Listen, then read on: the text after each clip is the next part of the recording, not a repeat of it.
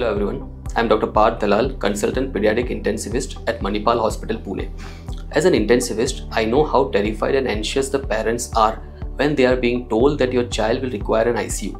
It's stressful for both child and parent, and I believe a complete information and a transparent communication is very important to reduce the, this apprehension.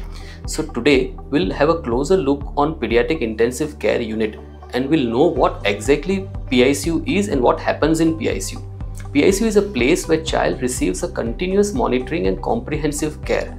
It is considered as the safest place as it is well equipped to deal with any kind of potential complications. Now the question is what all children requires PICU?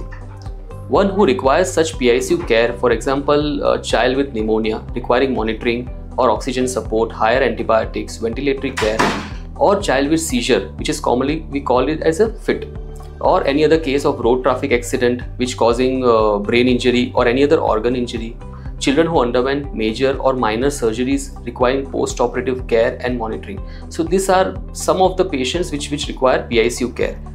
During this process it is not only one doctor who is looking after your child it is a team of specialists which includes uh, nurses nutritionists physiotherapists all are involved according to your child's sickness. The parents too are not just a visitor in ICU, they are a part of a team. Here in Manipal, we emphasize on shared decision making that is involving families in care process, providing them complete information, support, opportunity to take part in their child's care.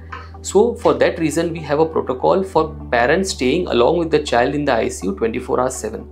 That will calm the child and also the parent will feel less anxious about it we try to create a balance between advanced medical technology and a child and family friendly atmosphere. The stay itself is very stressful for children and their mental health, so we as a team take care to minimize this trauma, including adequate pain management, sedation protocol, psychological support services. For us, nothing is more rewarding than witnessing a sick child getting recovered and returning home all healthy. Thank you.